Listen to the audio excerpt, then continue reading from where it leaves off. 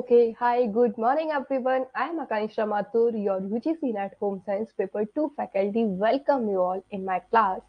जहाँ पे हम अपना करने वाले हैं आज टॉपिक है historical perspective of extension education I know ये वाला जो टॉपिक है हम बेसिकली स्टार्टिंग में करते हैं बट ये हमारी थर्ड टू फोर्थ क्लास है आई गेस है ना तो उसमें हम कर रहे हैं ये बस एक बार मुझे कंफर्म कर दीजिए मेरी वॉइस क्लियर है मेरी वीडियो एकदम विजिबल है आप लोगों को उसके बाद हम लोग अपना स्टार्ट करते हैं।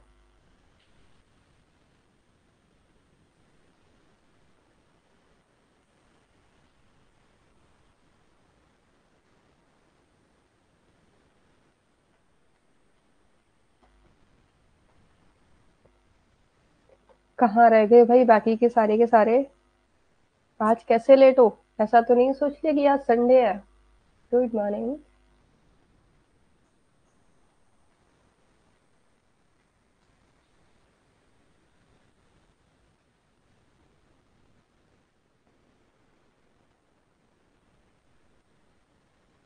चलो एक बार ज्वाइन कर लो सब लोग, फिर स्टार्ट करते हैं। मैं एक से दो मिनट का वेट करती हूँ। Good morning good morning everyone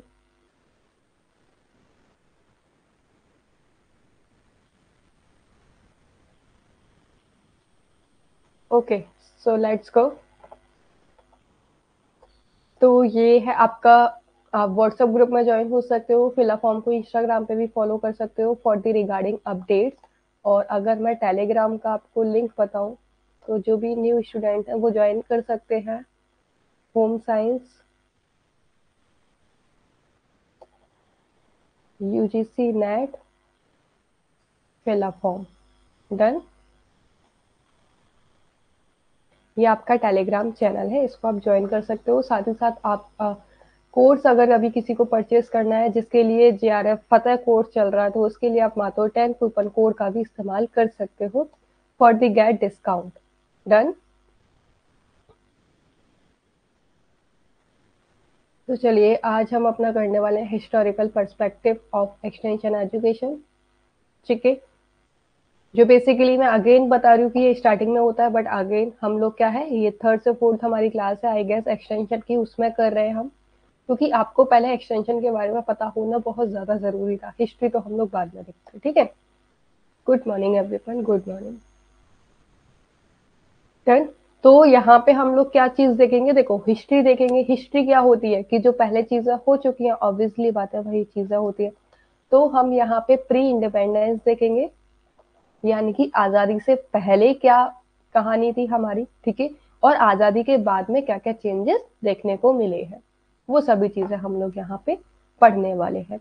तो देखो प्री इंडिपेंडेंस यानी कि आज़ादी से पहले यहाँ पे चीज़ें क्या होती है कि रूरल रिकंस्ट्रक्शन स्कीम 1903 में ये लॉन्च की गई थी, ठीक है? रूरल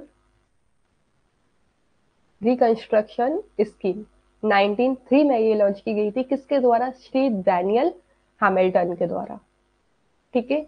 इनके द्वारा स्कीम ये लॉन्च की गई थी। ये इंडिपेंडेंस से पहले थे, आज़ादी के पहले थी। क्यों? अब यहाँ पे आप आई नो कि देखो पीछे शायद हिंदी वाले स्टूडेंट का कंटेंट हाइड हो रहा है तो I have to hide right तो यहाँ पे अब चीज़ें देखो कि ऑब्वियसली बात है कि जो आपके एक्सटेंशन वर्कर थे, यानी कि जो सोशल वर्क था, वो पहले भी हुआ करता था। है ना?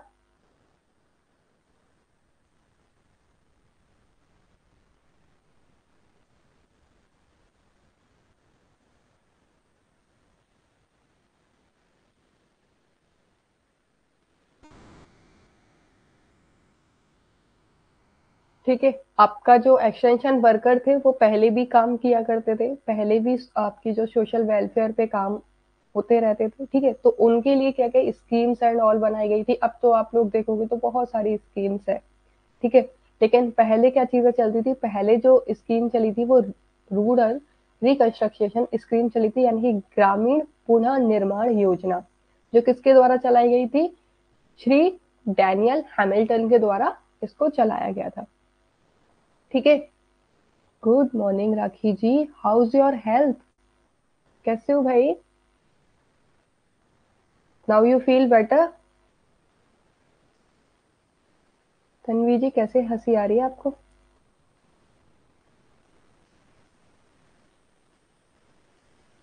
आई होप अब आप अच्छे होंगे भाई।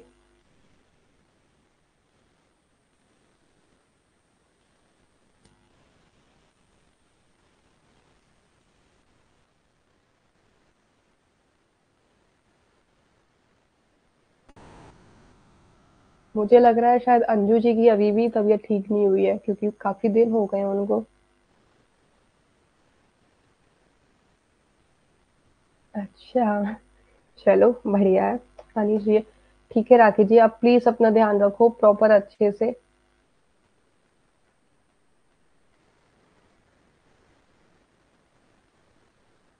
डन खूब सारा जूस भी पियो, है ना फ्रूट्स खाओ। अपनी इम्यूनिटी पावर को स्ट्रांग बना लो। जिस तरीके से आप स्ट्रांग हो ना, देखो अपनी, आपकी क्लास में पूरी हँसी का माहौल भी नहीं रहता है। हमें आपको इन्फॉर्मेशन ही नहीं मिलती है, क्योंकि आप हमें इन्फॉर्मेशन देते हो। Good morning Gomti ji. थोड़ा अधूरा अधूरा लगता है।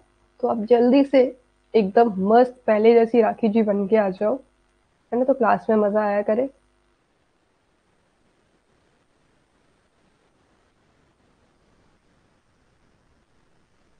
ठीक है? चलो तो अभी मैं देखो ये पढ़ा रही हूँ, आप लोग जो अभी एक आध न्यू ज्वाइन हुए हैं, उनको मैं बता देती हूँ कि ये हम लोग हिस्ट्री वाला कंटेंट पढ़ रहे हैं अपना, जो कि हमारा एक्सटेंशन से रिलेटेड रिलेटेड है कि आपका पहले क्या क्या चीज़ें होती थी, पहले कौन कौन सी स्कीम चला करती थी और अब आज़ादी के बाद में कौन कौन सी स्कीम चल रही है। ठीक है? हाँ। क्लास भी कवर करनी है और साथ ही साथ आपको अपना ध्यान भी रखना और इन्हीं सब चीज़ों के बीच में आपको एग्ज़ाम की प्रिपरेशन भी करनी है। ठीक है? एंड आई नो आप सारी चीज़ें कर लोगे, कुछ भी दिक्कत हो, कहीं भी कैसी भी हो, आप एनी टाइम कभी भी पूछ सकते हो। ठीक है? Good morning Reshu ji. अरे, क्या बात है। आज तो भाई सारे के सारे स्टूडेंट आ गए यहाँ पे। आई एम सो हैप्पी खुश कर देता तुम कैसे बोलते हैं पंजाबी में? खुश कर देता तुस्सी मैनू। ऐसे ही कुछ बोलते हैं ना? हाँ बिल्कुल पूछ लेना। ओके तो चलो भाई, अब फाइनली सब लोग आ गए हैं तो पढ़ ले। आप लोगों ने हैप्पी कर देना मुझे, क्योंकि आप सब लोग यहाँ हो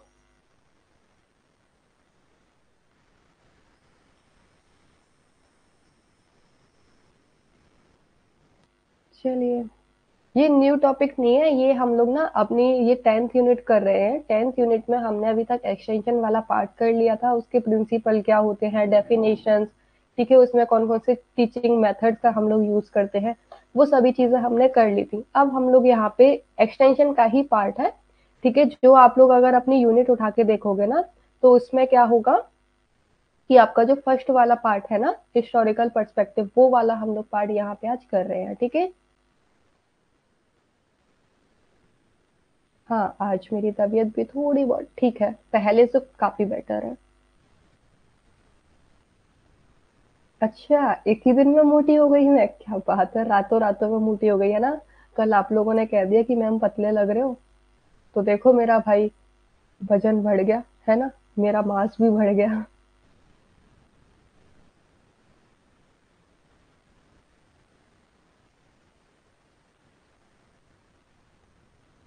चलिए तो पढ़ ले। फाइनली सब लोग आ गए हो तो। ओके तो मैं ये पढ़ा रही थी। तो देखो, यहाँ पे आज़ादी से पहले जो स्कीम चलाई गई थी ना, वो चलाई गई थी ग्रामीण पुनः निर्माण योजना, जो कि किसके द्वारा थी? डैनियल हैमिल्टन के द्वारा थी, जो कि कब चलाई गई थी? 1903 में। इन्होंने अपनी स्कीम में क्या किया था? To create model villages based on cooperative principle in Bengal ये बंगाल के जो विलेजेस थे ना, वहाँ के लोगों के लिए थी। वहाँ पे क्या थी? कि वहाँ पे कॉपरेटिव प्रिंसिपल्स पे ये काम करती थी। कॉपरेटिव प्रिंसिपल्स की अगर मैं बात करूँ तो एक तरीके से कि ऐसे वहाँ पे मॉडल्स को बनाया गया बंगाल में, जहाँ पे लोग अगर आपस में काम करें ना तो उनके अंदर एक दूसरे के अंदर कॉपरेट की फीलिंग रहे। वो वाली चीज़ें यहाँ पे आएँगी, ठीक है?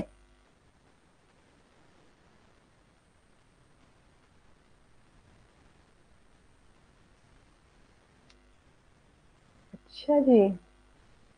चलो शुक्रिया।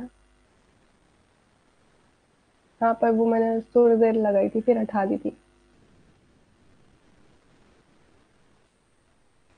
हाँ ठीक है। तो उसके बाद में क्या है?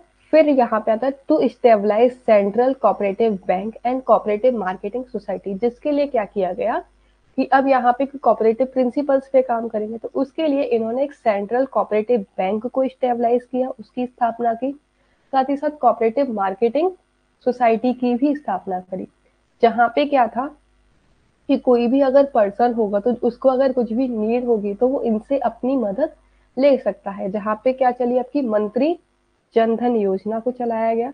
ठीक है लाइफ इंश्योरेंस स्कीम चलाई गई, जहाँ पे आपको सिर्फ़ एक रुपया देना था। पर मंथ आपको कितना पे करना था? एक रुपए ही देने थे और उसी के बेसिस पे आपको आपका जो भी बेनिफिट है वो मिल जाएगा। तो ये आपकी चली थी कब? इंडिपेंडेंस से पहले स्कीम थी 1903 में। ठीक है, जिसको किस नाम से जाना जाता है? रूरल रिकंस्ट्रक्शन स्कीम के नाम से जाना जाता है और जो चलाई किसके द्वारा गई थी? डैनियल हैमिल्टन के द्वारा। ठीक है? जहाँ पे बेसिकली ये लोगों के प्रिंसिपल पे ही काम कर रही थी, जहाँ पे उनको एक कॉपरेटिव बैंक उनको दी गई। है ना? कॉपरेटिव मार्केटिंग सोसाइटी उनको दी गई। जिसके तहत मंत्री जनधन योजना चलाई गई लाइफ इंश्योरेंस स्कीम चलाई गई, जहाँ उनको पर मंथ बस आपको वन रुपी ही पे करना था। उससे ज़्यादा नहीं कॉस्ट भी बहुत ज़्यादा मिनिमम रखी गई ताकि हर कोई इंसान इसको अचीव कर पाए।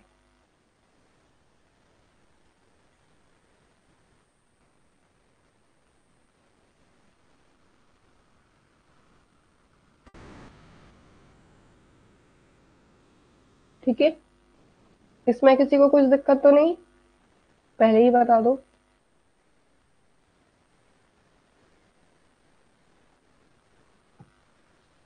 अच्छा आपने किया। मैंने इसको सीरियसली मैंने कभी यूज़ नहीं किया है तो मुझे पता नहीं है भाई।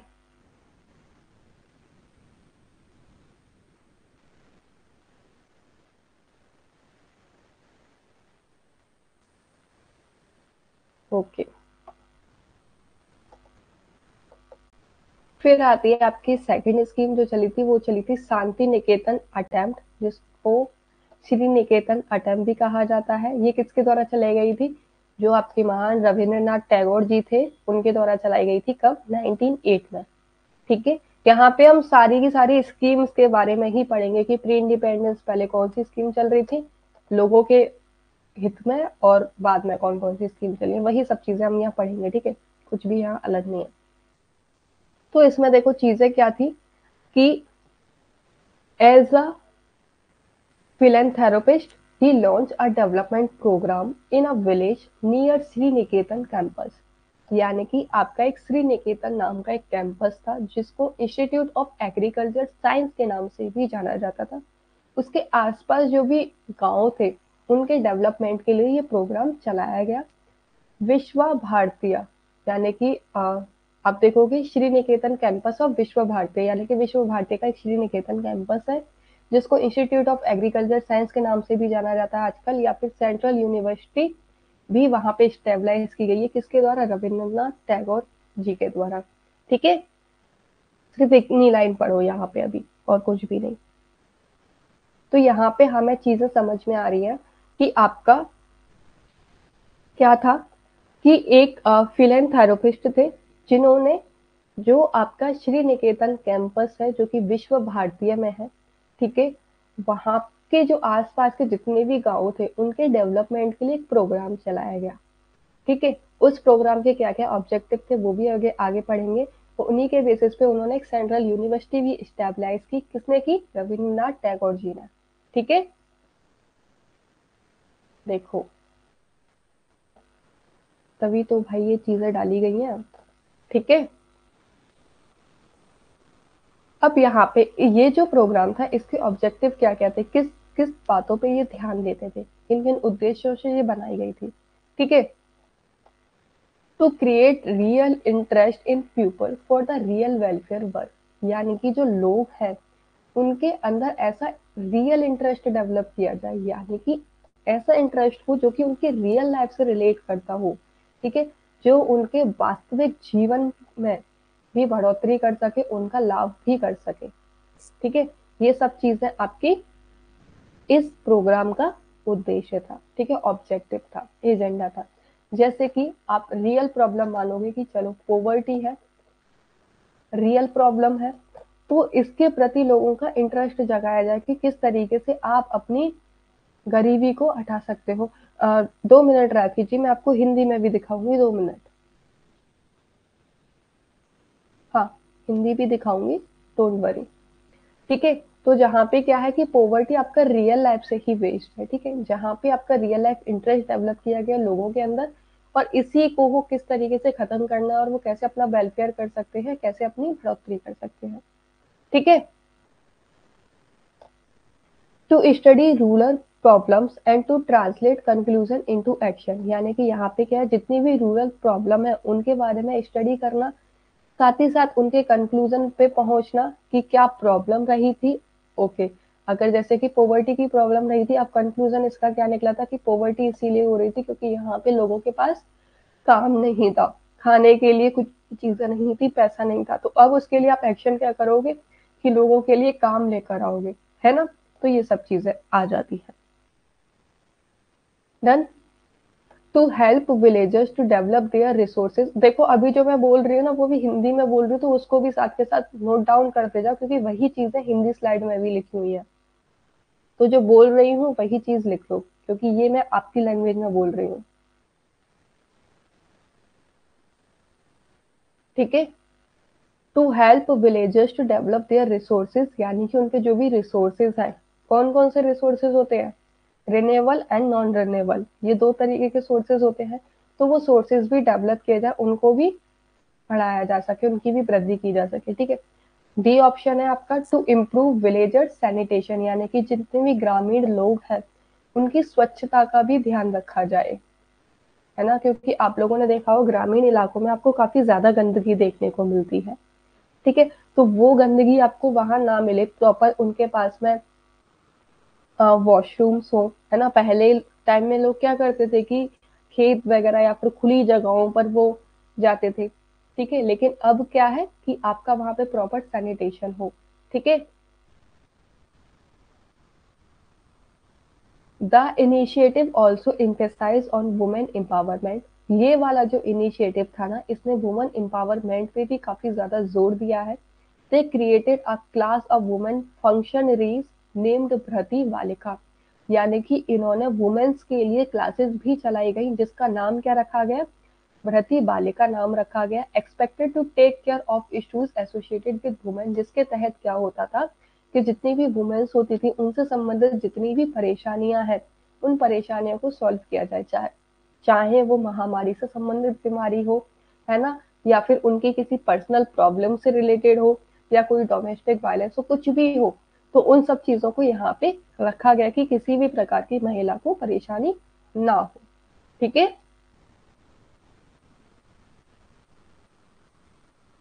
तो अब आप लोग समझ रहे हो कि इसमें देखो, इस इस एक ही स्लाइड में आपको कितनी सारी चीज़ें देखने को मिल गई कि ये ग्रामीण लोगों के लिए ये प्रोग्राम चलाया गया था, जहाँ पे लोगों के वेलफेयर पे काम किया गया, उनकी प्रॉब्लम सॉल्व करने के लिए ठीक है, उनकी स्वच्छता पे ध्यान दिया गया और साथ ही साथ इसी स्कीम के तहत क्या वुमेन्स एम्पावरमेंट पे भी ज़ोर दिया गया। तो देख रहे हो ये वुमेन एम्पावरमेंट कितने पुराने टाइम से चला आ रहा है 1908 से ही चला आ रहा है है ना? लेकिन अभी क्या है, ये चीज़ें अब ये वुमेन एम्पावरमेंट अब जाके एक तरीके से काफ़ी ज़्यादा उजागर हुई है। पहले के टाइम में इतना नहीं थी। तो आप समझ सकते हो कि इसमें इतनी सारी बातें आपको सीखने को मिल गई हैं तो कितनी इंपॉर्टेंट ये स्कीम होगी। तो जो भी मुझसे हिंदी में पूछ रहे थे, हिंदी वाले स्टूडेंट के लिए ये रही। एक परोपकारी के रूप में उन्होंने विश्व भारतीय, है ना, रविन्द्रनाथ टैगोर जी द्वारा स्थापित केंद्र विश्वविद्यालय किया गया, ठीक है?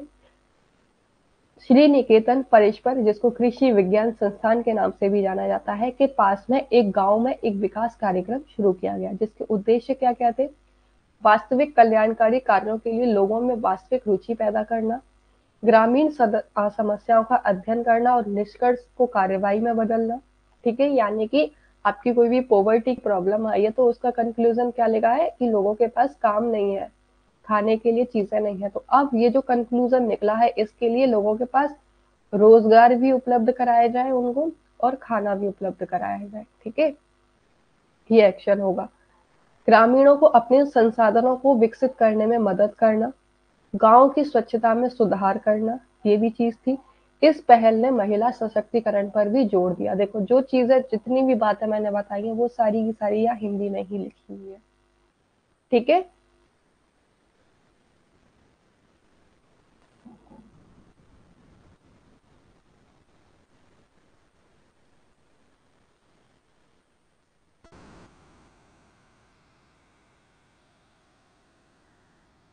चलिए। मूव करूँ मैं नेक्स्ट वाले पे चलूँ, इसमें किसी को कुछ दिक्कत हो तो बताओ।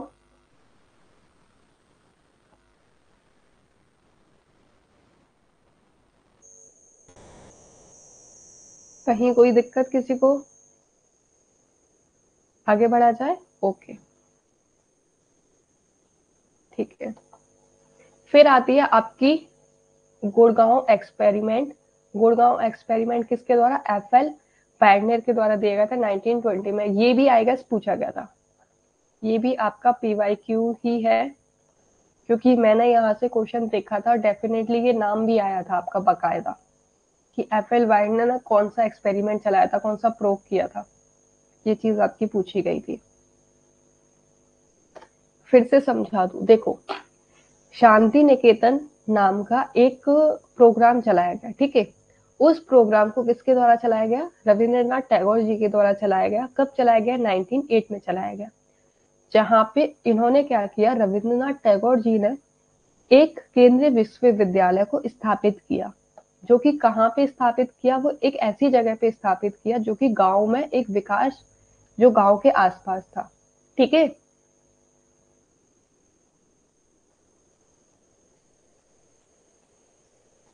क्लास तो कंटिन्यू चल रही है, मेरे साइड से देखो ऐसा कुछ भी नहीं आया है।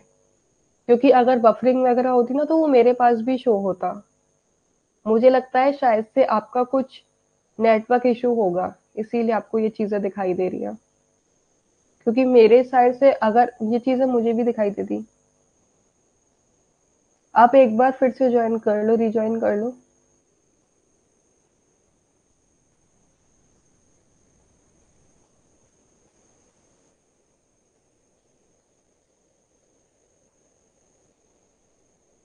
फिर से ज्वाइन करके आप एक बार फिर बताओ कि हो रहा है कि नहीं। देखो, वहाँ पे आपकी स्क्रीन पे ना एक रेड सा बटन आ रहा होगा जिसपे लीव लिखा होगा।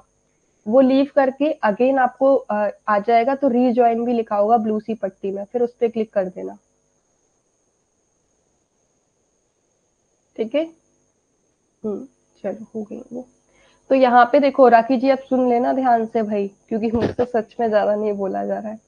ठीक है? तो यहाँ पे क्या था कि रविन्द्रनाथ टैगोर जी द्वारा शांति निकेतन एक प्रोग्राम चलाया गया, जो कि उन्होंने क्या किया था? विश्व भारतीय की स्थापना की थी, जिसको आजकल केंद्रीय विश्वविद्यालय के नाम से भी जाना जाता है।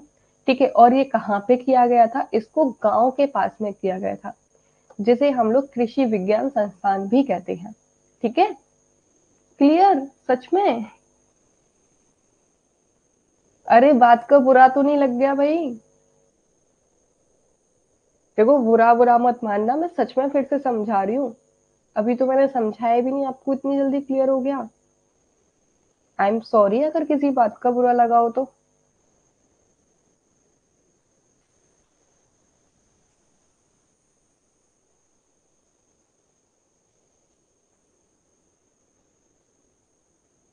तो अभी तो मैंने समझाया भी नहीं आपको।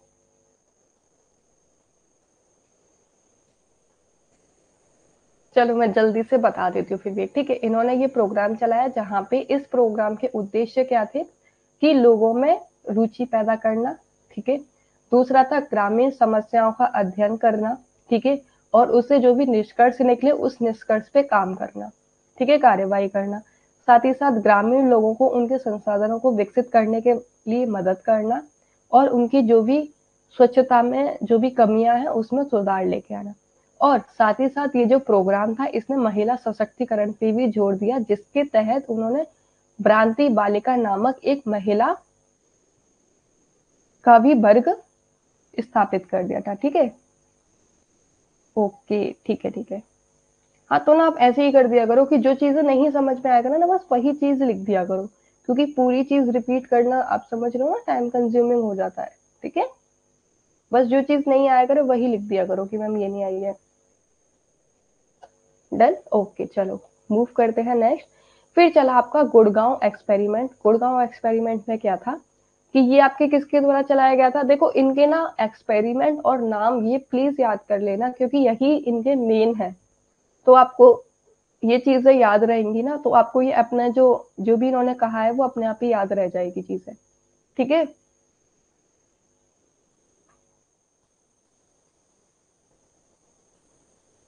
नहीं, अब मुझे सीरियसली मुझे कुछ भी बोलने से पहले ना मैं सोचती हूँ भाई, पता नहीं कब, कहाँ, किसको कौन सी बात बुरी लग जाए।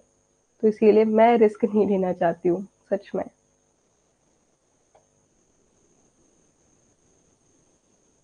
है ना? तो यहाँ पे देखो कि देखो, इनको याद करने में मैं तो कोई हेल्प नहीं कर पाऊँगी आपको। ये आपको बस सिंपली एक साइड में ऐसे कर सकते हो कि प्रोग्राम की लिस्ट लिख सकते हो और एक साइड नेम लिख सकते हो कि किसके द्वारा दिए गए हैं। ऐसे आप याद कर पाओगे। ठीक है? नहीं नहीं, कोई भी गुस्सा नहीं करता भाई। कोई भी नहीं। चलो मूड अच्छा करते हैं, पढ़ते हैं।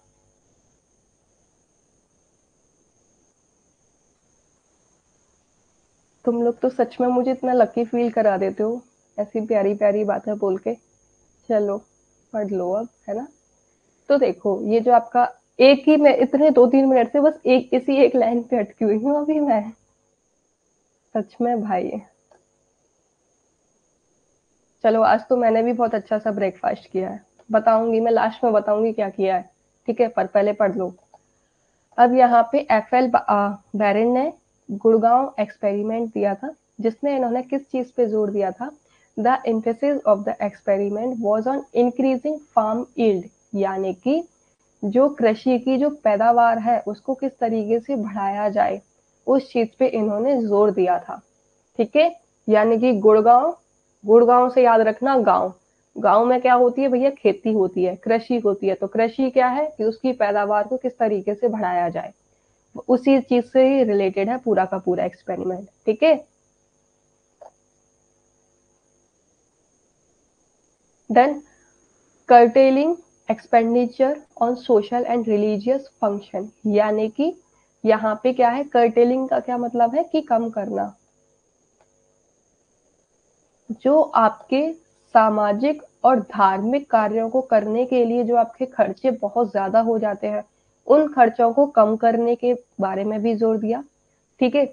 Improving health standards and organising welfare programme देखो, यहाँ पे बेसिकली किन किन चीज़ों पे ध्यान दिया गया? अगर हम लोग यहाँ बात करें तो इस एक्सपेरिमेंट का जो मेन मुद्दा था ना, वो क्या था कि लोगों के व्यवहार में परिवर्तन लेकर आना। और वो परिवर्तन लोगों के व्यवहार में कैसे आएगा? ठीक है? वो परिवर्तन ऐसे आएगा कि उनकी जो भी खेती है खेती पैदावार बढ़ाना, ठीक है? और साथ ही साथ क्या है कि उनके जितने भी सामाजिक और धार्मिक जो भी कार्य होते हैं, उन कार्यों को करने के लिए जितना भी पैसा खर्च होता है, उस पैसे को कम कर देना, उस खर्चे को कम करना, इस चीज़ पे जोड़ दिया गया। और साथ ही साथ उनकी जो भी स्वास्थ्य है, उनके स्वास्थ्य में बढ़ोतरी करना, ठीक है? इससे संबंधित सारे के सारे वेलफेयर प्रोग्राम वगैरह चलाए गए, ठीक है? तो इसमें आप लोगों ने देखा होगा, बहुत ही इजी सा है, कुछ भी डिफ़िकल्ट नहीं है। इसमें तीन बातों का ध्यान रखना है आपको कि वृद्धि पे, खेती वृद्धि पे ध्यान दिया गया, जो भी खर्चे हो रहे हैं, उन खर्चों को कम करने पे ध्यान दिया गया और लोगों की हेल्थ पे ध्यान दिया गया। ठीक है? और इन सब के थ्रू क्या किया गया? लोगों के व्यवहार में परिवर्तन किया गया। डन किसी को कुछ भी कंफ्यूजन तो नहीं है ना? बताओ। पक्का?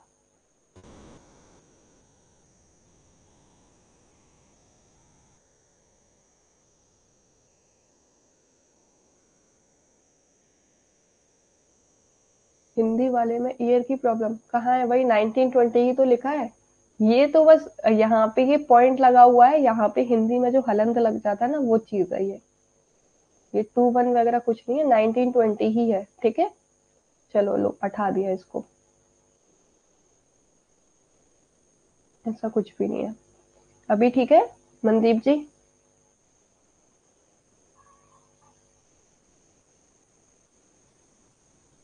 ठीक है। ठीक है, फिर आता है मर्थनडाम अटेम्प्ट। ठीक है, स्पेंचर हैच द्वारा दिया गया था। बस इनके नाम ही यार देखो थोड़े अजीब अजीब है। मुझे भी याद नहीं हुए थे तो मैं आपको भी नहीं कह पाऊँगी कि अब आपको जिसको भी, जैसे भी याद हो जाए, याद कर लेना बस। है ना? क्योंकि मुझे ही पता है कैसे बहुत अजीब अजीब नाम होते हैं ये। ठीक है? तो देखो, लॉन्च इन पैराबान कोर ऑफ़ केरला यानी कि केरल के तैराबान कोर में इसको लॉन्च किया गया था, ये वाली जो स्कीम है, ठीक है? With support of young man Christian association यानी कि किसकी सहायता से इसको लॉन्च किया गया था? यंग मैन क्रिश्चियन एसोसिएशन की सहायता से इस मर्थनाम प्रोग्राम को किया गया था, जिसको आप लोग शॉर्ट फॉर्म में ए के नाम से भी देखने को मिल जाता है आपको ये, ठीक है? इसकी ट्रिक तो देखो मुझे भी नहीं पता मैं टू बी ऑनेस्टली बता रही हूँ क्योंकि तो मुझे भी ये चीज़ें याद नहीं हुई थी। मैंने तो बस सिंपली uh, इनको रीड कर लिया था। ये जैसे जैसे होती है ना बस देख लिया था कि अच्छा चलो गुड़गांव है उसमें एफ़ वाई आता है तो ये आपकी ग्रामीण लोगों से रिलेटेड होती है कृषि वगैरह ये सारी चीज़ें आती है वहाँ पे क्या क्या प्रॉब्लम रहती है लोगों को स्वास्थ्य की परेशानी होती है है ना वो धार्मिक में ज़्यादा बिलीव करते हैं। तो इस तरीके से थोड़ा कॉमन सेंस से मैंने याद की थी ये सारी चीज़ें। अपने दोस्तों के नाम रख देना, और क्या कहें। चलो, जो आपके स्कूल फ्रेंड हो ना, वो तो आपके बहुत पुराने हैं तो उनके लिए प्री इंडिपेंडेंस वाले रख देना, और जो आपके कॉलेज में बने हैं, हाल ही में फ्रेंड बने, उनको पोस्ट इंडिपेंडेंस के नाम दे देना। ठीक है? ऐसे याद हो जाएगा।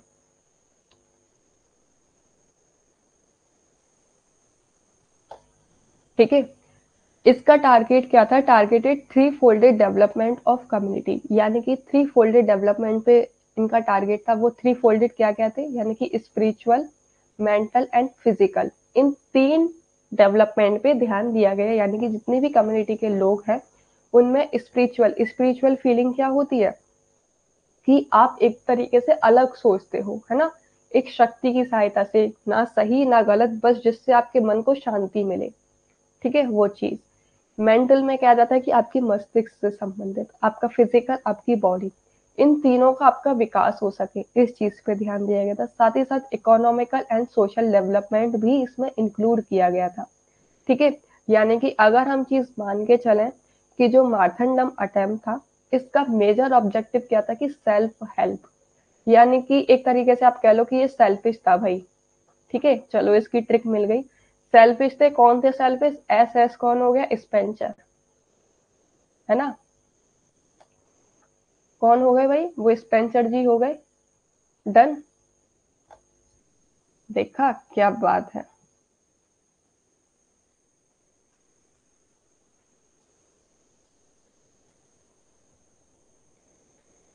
ठीक है?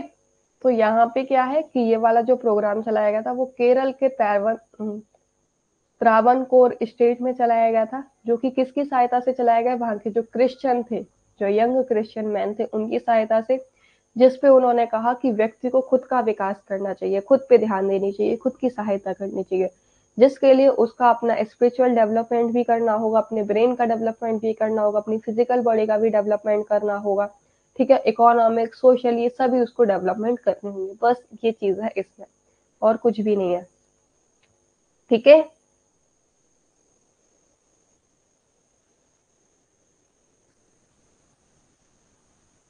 डन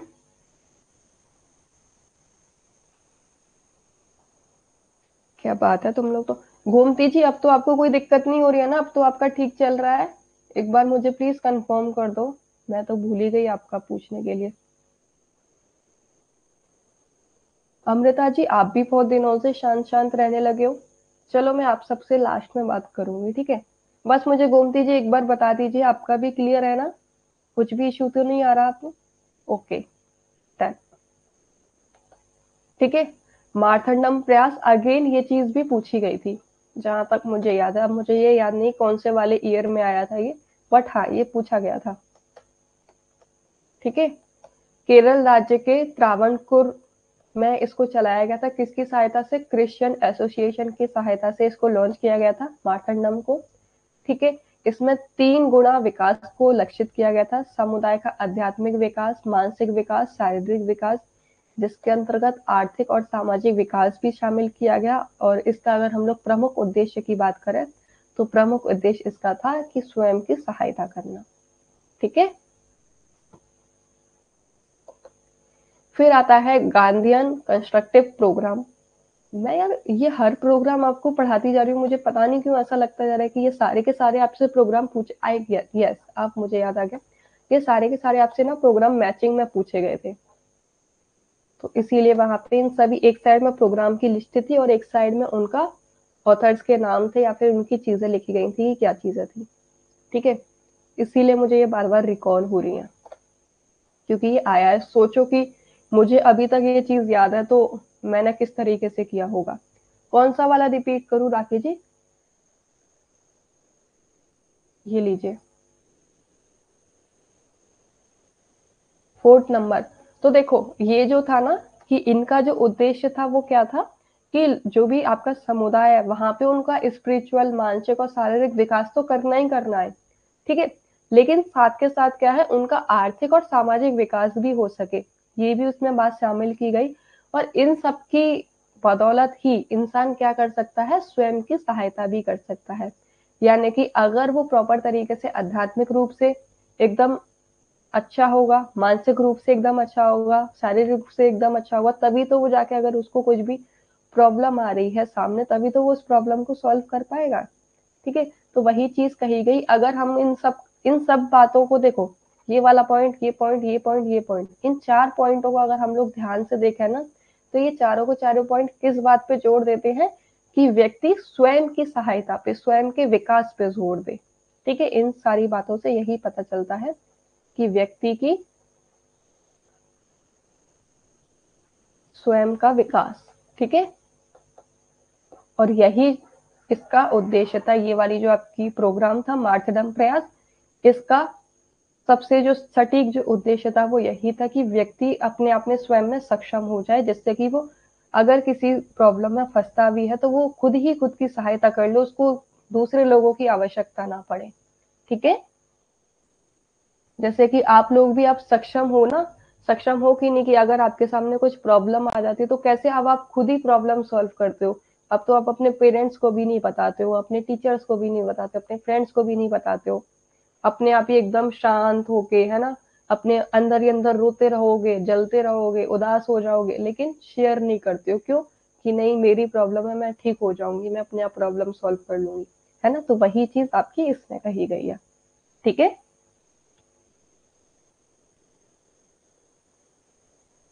ओके फिर आता है आपका गांधीयन कंस्ट्रक्टिव प्रोग्राम इसमें क्या था? ये महात्मा गांधी जी के द्वारा चलाया गया था। ऑब्वियसली बात है इसीलिए इसका नाम है, वो गांधीयन कंस्ट्रक्टिव पड़ा है। ठीक है? इसने किस बात पे ज़ोर दिया था? Village should be the centre of development इन्होंने कहा था अपने प्रोग्राम में कि जो गाँव होता है, गाँव विकास का सेंटर होता है। यानी कि अगर किसी का भी, अगर कहीं भी कुछ भी आपको विकास करना है ना तो सबसे पहले आपको ग्रामीण का विकास करना होगा। जब ग्रामीण लोगों का विकास होगा, गाँव का विकास होगा तो अपने आप ही शहरों में लोग अच्छे होंगे, है ना? लोगों का भी विकास होगा, इस चीज़ पे इन्होंने ज़ोर दिया।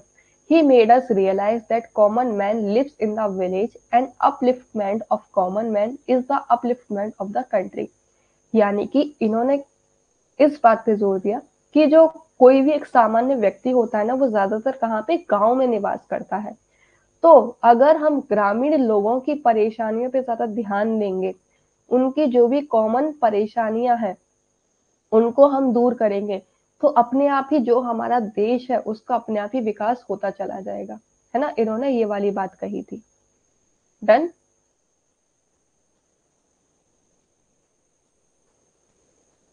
तो यानी कि महात्मा गांधी जी की अगर हम लोग बात करें तो इन्होंने क्या कहा था कि ना कोई शहरी बाबू है भाई, ठीक है? ना कोई विदेशी बाबू है। ठीक है? अगर आपको किसी के बारे में सोचना ही है तो वो आपको ग्रामीण लोगों के बारे में सोचना होगा, क्योंकि ग्रामीण लोग ही ऐसा वर्ग है जो पीछे है काफ़ी ज़्यादा। तो जब ग्रामीण लोगों को शिक्षा मिलेगी, अच्छी उनको फैसिलिटीज़ मिलेंगी, उनके जो रहन सहन के स्तर है, उसमें बदलाव आएगा तो अपने आप ही जो शहरी बाबू के लोग हैं, उनके साथ वो उठ बैठ सकते हैं, और जब वो इनकी बराबरी कर सकते हैं तो ये शहरी बाबू, विदेशी बाबू की भी बराबरी कर सकते हैं। इसके चक्कर में जैसे कि जैसे जैसे डेवलपमेंट होता जाएगा तो अपने आप, आपके देश का विकास होता चला जाएगा। है ना? तो ये चीज़ इन्होंने यहाँ पे कही थी कि अगर आपको किसी का विकास करना ही है तो आप ग्रामीण लोगों पे ध्यान दो, बजाय शहरी लोगों पे ध्यान देने की बजाय, विदेशी लोगों पे ध्यान देने की बजाय। क्यों? क्योंकि एक्चुअल में प्रॉब्लम तो ग्रामीण लोगों को होती है। अब जैसे कि आपकी महँगाई हो रही है है ना? आप लोगों को पता है महँगाई कितना आसमान छू रही है। तो अब जो लोग अमीर लोग हैं उन पे तो कोई भी फ़र्क नहीं पड़ेगा चाहे कितने किलो भी प्याज हो जाए कितने किलो भी टमाटर हो जाए क्योंकि उनके पास तो पैसा है। एक्चुअल में हमें की, चीज़ किसकी देखनी है? जो मिडिल क्लास के लोग हैं है ना? जो ग्रामीण जो लोग हैं उनके हित में चीज़ें देखनी है कि नहीं देखनी है? अगर ग्रामीण लोग ही इस चीज़ को नहीं खरीद पा रहे हैं तो आगे ये कैसे अमीर बनेंगे? अमीर लोग तो सपोज़ करो कि ये पूरा का पूरा सर्कल है है ना? इसमें से आपके ट्वेंटी परसेंट ही ऐसे है कि जो अमीर है। बाकी के सारे तो ग्रामीण है ना? ये बाकी के सारे तो मिडिल क्लास में बिलोंग करते हैं। तो अब अगर यही डेवलप नहीं कर पाएँगे तो ये अमीर भी कहाँ, क्या ही कर लेंगे बीस परसेंट अमीर? है ना? तो वही चीज़ यहाँ पे इन्होंने कही है। ठीक है?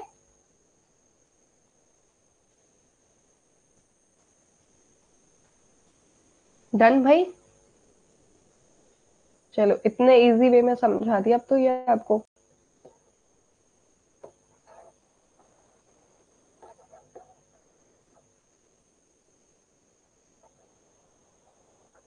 देन तो यहाँ पे क्या है, महात्मा गांधी जी ने जो ज़ोर दिया था, वो ग्रामीण लोगों पे कहा था, यानी कि अगर कोई सेंटर ऑफ़ डेवलपमेंट है है ना, विकास का अगर कोई केंद्र है तो वो ग्रामीण लोग ही होने चाहिए, गाँव ही होना चाहिए। जिसके तहत क्या क्या ऑब्जेक्टिव रखे गए डिसेंट्रलाइजेशन प्रोडक्ट प्रोडक्शन यानी कि जो भी प्रोडक्शन हो, उसको सब लोगों में विकसित विस्तृत किया जाए। इक्विटेबल डिस्ट्रीब्यूशन ऑफ़ रिसोर्सेज यानी कि जितने भी संसाधन है, सभी को बराबर बराबर संसाधन मिले। ऐसा नहीं कि किसी के पास बहुत ज़्यादा है, वही अमीरी और गरीबी की ही मैं बात करूँगी। ठीक है? Self sufficiency of Indian village यानी कि जो आपके भारतीय ग्रामीण जो है, ठीक है, उनके अंदर क्या है कि स्वयं के प्रति एक संतुष्टि की भी भावना होनी चाहिए। ऐसा ना हो कि वो लोग कुरते रहे या फिर ये चीज़ हो जाए कि अरे हमारे पास तो कुछ भी नहीं है हमारे देश में तो कुछ भी विकास ही नहीं हो रहा है हमारी तरफ़ तो कोई ध्यान ही नहीं दे रहा ये चीज़ें नहीं होनी चाहिए ठीक है? देखो यही चीज़ें यहाँ पे लिखी गई है कि महात्मा गांधी जी ने ये गांधीवाद गांधीवादी रचनात्मक कार्यक्रम चलाया गया इसका आई गेस ईयर नहीं लिखा है ईयर हम्म, नहीं है इसका ठीक है? गाँव को विकास का केंद्र बनाने पर ज़ोर दिया गया जहाँ पे उन्होंने क्या कहा? कि आम आदमी गाँव में रहता है और आम आदमी का उत्थान देश का उत्थान है, ठीक है? जिसके तहत उद्देश्य क्या रखे गए? विकेंद्रीगत उत्पादन, संसाधनों को न्याय संगत वितरण करना, भारतीय गाँवों की आत्मनिर्भरता को भी बढ़ाना, ठीक है?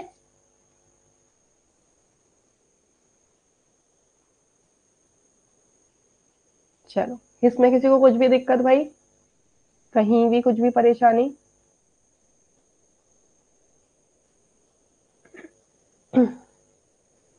ठीक है फिर आता है इंडियन विलेज सर्विसेज़ जिसको आईवीएस के नाम से भी जाना जाता है। ये 1945 में चलाया गया था। ये Mosher and V N Gupta ji द्वारा चलाया गया था, जो कि अगेन गांधीयन आइडियोलॉजी पे ही डिपेंड था। यानी कि जो बात यहाँ पे कही गई है ना, ये सारी बात जो कही गई है, यही सेम बात इन्होंने भी कही थी। तो यहाँ पे देखो, इससे, इस वाले से आपकी दो प्रोग्राम तैयार हो गए, है ना? गांधी जी से ही, क्योंकि इन्होंने भी सेम बात कही थी, इसीलिए यहाँ कुछ लिखा नहीं है। बस ये जो इंडियन विलेजेस सर्विस के नाम से ये चला दिया गया था, जिसको Mosher and V N Gupta ji द्वारा चलाया गया था, जो भी इसी बात पे ज़ोर देता था कि विलेज का ही डेवलपमेंट करना है, वहाँ के लोगों का डेवलपमेंट करना है, उनमें इक्वली रिसोर्सेज को डिस्ट्रीब्यूट करना है, उनको ग्रामीण लोगों को आत्मनिर्भर बनाना है, ठीक है? इन्हीं सब बातों पे इन्होंने भी ज़ोर दिया था, ठीक है? ये लीजिए।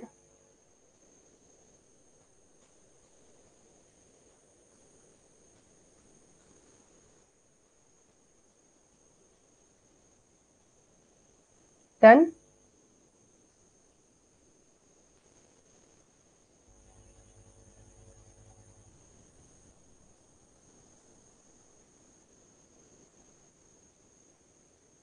क्लियर भाई ओके अभी आ गया, पोस्ट इंडिपेंडेंस क्या सच में आप लोगों के साथ में ना बिल्कुल भी टाइम पता नहीं चलता है। देखते ही देखते आपकी क्लास का भी टाइम हो गया। मैं आज सच में सोच कर आई थी कि मैं प्री और पोस्ट ये दोनों ही आपको आज कंप्लीट करा दूँगी। सिक्स नंबर वाले में कुछ भी नहीं है। सिक्स नंबर वाले में ये है कि ये इंडियन विलेजेस सर्विसेज़ चलाई गई 1945 में, जो कि किसके द्वारा चलाई गई? Moser and V N Gupta ji के द्वारा चलाई गई। और इन्होंने भी वही बातें कही अपने प्रोग्राम में, जो कि गांधी जी ने कही थी। ठीक है? गांधी जी ने कहा था कि ग्रामीण गाँव ही विकास का केंद्र होना चाहिए। इन्होंने भी यही कहा कि गाँव ही विकास का केंद्र होना चाहिए। इन्होंने कहा कि अगर ग्रामीण जो आम आदमी है वो गाँव में रहता है, ठीक है, इन्होंने भी यही कहा, आम आदमी गाँव में रहता है। अगर गाँव के आदमी का उत्थान होगा तो आपके देश का उत्थान होगा, इन्होंने भी यही बात कही। है ना? यानी कि जो कि आपके गांधी जी ने बात कही, वही सारी चीज़ें इन्होंने भी कही थी। यानी कि सेम टिकटो ये आपके किस पे बेस्ड था? ये गांधीयन आइडियोलॉजी पे, यानी कि जो गांधी जी के जो सिद्धांत थे, उन्हीं सिद्धांतों पे इन्होंने भी काम किया था। ठीक है?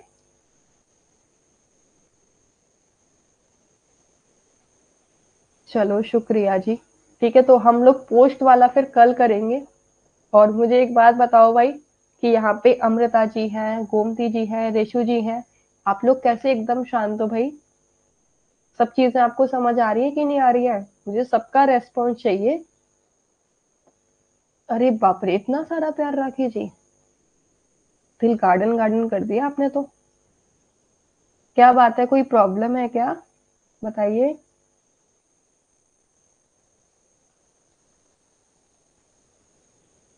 ओके मस्त हँसते खेलते रहा करो, है ना? आप भी बोला करो अच्छा लगता है मुझे जब सब लोग आपस में इंटरेक्शन करते हो। अरे हेमा जी, आप तो बोलते ही हो। आपको नहीं भूलेंगे हम। एक्चुअल में मैं बस इनकी बोल रही थी, अमृता जी बहुत कम बोलती हैं बट बहुत कम बोलती हैं। ऐसी गोमती जी भी, आजकल रेशु जी भी बहुत शांत रहने लगी हैं। अरे वाह, खुशबू जी भी आ गई हैं। ओके जो जो भी डाउट लगे आप बता दीजिए।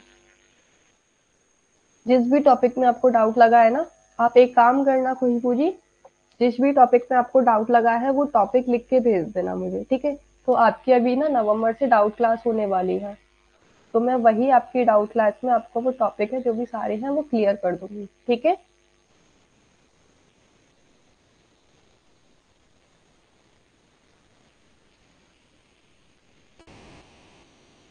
कुछ भी अगर थोड़ा सा भी कंफ्यूजन आ रहा है ना, अगर एक लाइन का भी कुछ भी डाउट है है ना, कुछ भी प्रॉब्लम है, आप बेझिझक मुझे बोल सकते हो। ऐसा नहीं कि मैम गुस्सा करेंगी, भाई पता नहीं बताएँगे या नहीं बताएँगे, ऐसा कुछ भी नहीं है। ठीक है? अच्छा जी, ऐसी कोई बात नहीं, अमृता जी। ओके हम मान लेते हैं। आप टेलीग्राम पे भेज देना।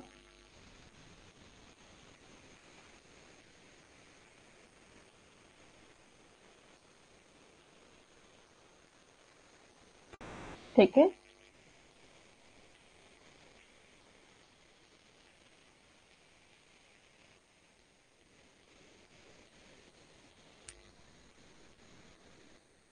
ओके थैंक यू भाई, शुक्रिया।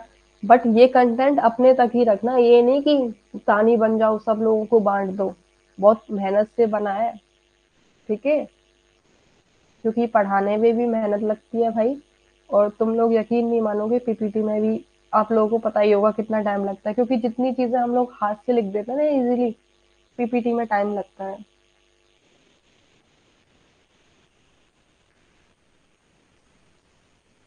Okay thank you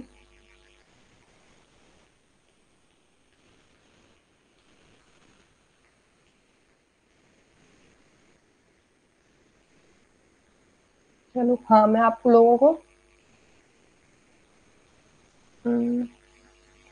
Rakhi Mandeep ji, जरा गोमती जी की हेल्प कर दो, वो क्या मांग रहे हैं?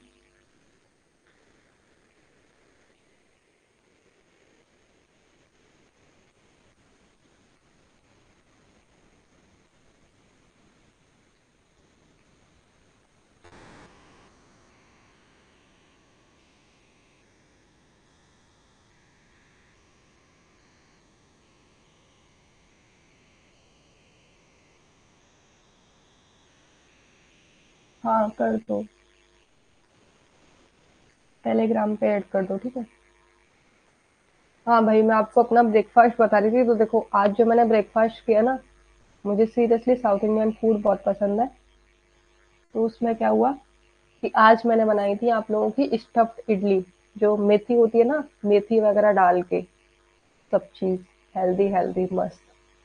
तो आज वो मस्त मैंने ब्रेकफास्ट किया है अपना।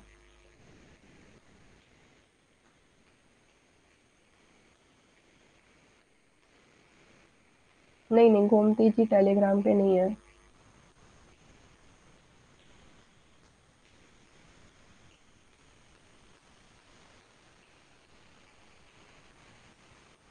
ओके तो आप मुझे शेयर कर देना नो इशू हाँ बिल्कुल। अच्छा आपका नौ दिन फास्ट है?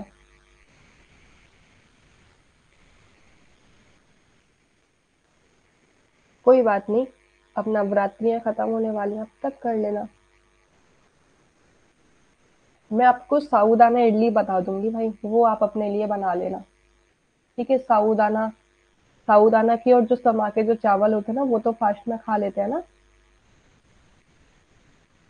उसकी बता दूँगी। कोई बात नहीं, मैं ऐड कर दूँगी, डोंट वरी। ठीक है?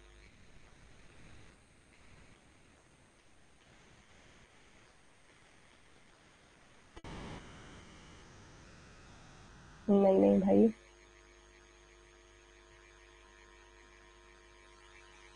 आपको भी खाना है फास्ट का? चलो, मैं रेसिपी शेयर कर दूँगी भाई आपसे।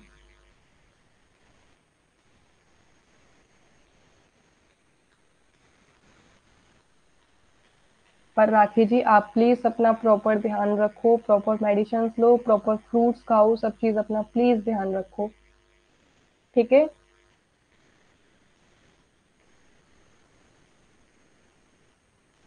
अरे बाप रे।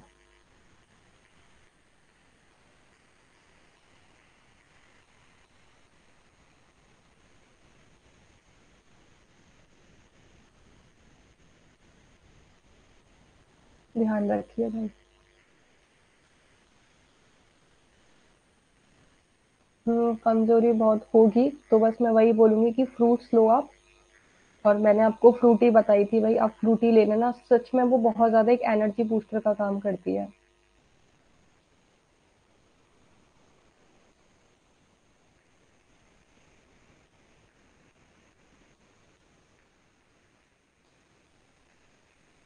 हम्म, समझ गई हूँ। चलो मैं ना आपकी एक क्लास ऐसी ही लगाऊँगी जिसमें पूरी डाउट क्लास होगी। जिसमें हम जम के खूब गपशप करने वाले हैं, ठीक है? गोमती जी, आप हो क्या यहाँ पे? मुझे लगता है शायद वो चले गए।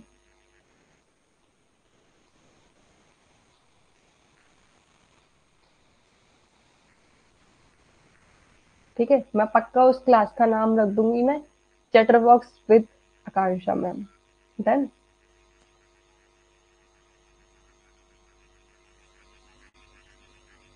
Okay okay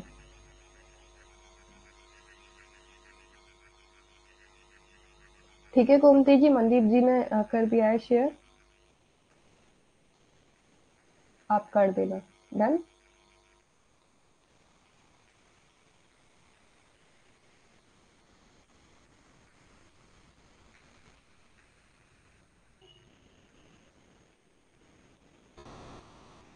ओके सो इसी के साथ हम चलते हैं भाई। टाटा बाय बाय ध्यान रखो सभी लोग अपना।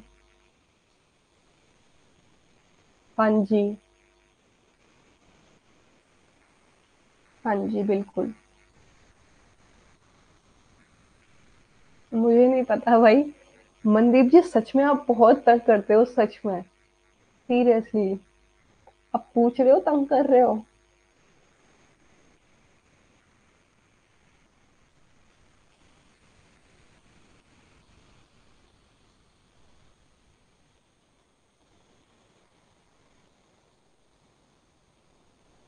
ओके।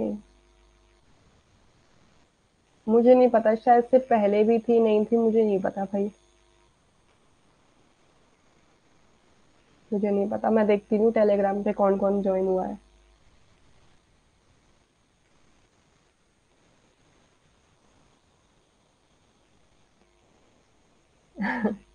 कोई नहीं, ऐसी माहौल बना रहना चाहिए, हँसते खेलते रहो भाई सब लोग।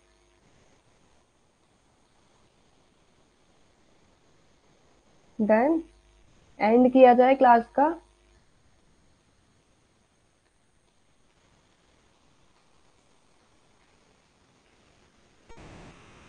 मेरे पास कोई कांटेक्ट नंबर नहीं, उनका तो सॉरी भाई, इस मामले में मैं हेल्प नहीं कर पाऊँगी। हाँ ये इस बात से मैं आपकी एग्री हूँ, बिल्कुल। बट मुझे सीरियसली नहीं पता कुछ भी उनके बारे में। Okay bye bye everyone take care